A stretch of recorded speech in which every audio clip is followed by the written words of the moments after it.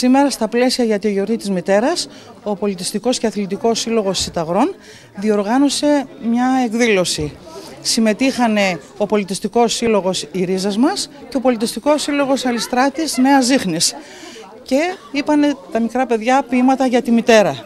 Παρουσίασαν χορούς σε παιδικά τμήματα και τμήματα ενηλίκων με φορεσιές από την Κόνιτσα Ζαγόρη, από την Αλεξάνδρεια Ημαθία, από τις Μεταξάδες Εύρου ε, η σημερινή μας εκδήλωση ήταν υπέροχη, ε, μας τίμησαν όλοι οι σύλλογοι και εμείς με τη σειρά μας τιμούμε τη μητέρα και της ευχόμαστε χρόνια πολλά και Χριστός Ανέστη σε όλες τις μητέρες του κόσμου.